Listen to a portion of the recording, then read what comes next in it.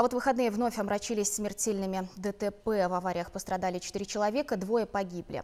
Подробнее о случившемся Наталья Сабанова.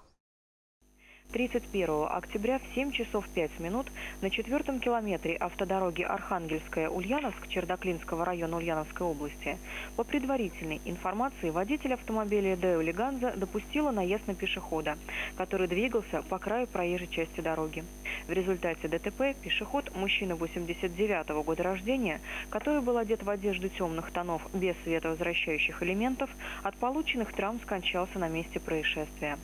1 ноября в 2 часа 50 минут на улице Отрадная, 84 Засвяжского района города Ульяновска по предварительной информации водитель автомобиля Hyundai Elantra не справился с управлением и допустил наезд на дерево. В результате ДТП водитель автомобиля мужчина 93 -го года рождения от полученных травм скончался на месте происшествия.